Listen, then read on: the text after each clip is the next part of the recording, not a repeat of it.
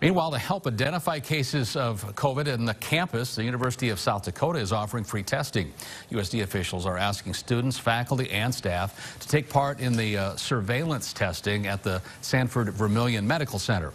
Officials say that the test will help determine the background rate of COVID-19 there on campus.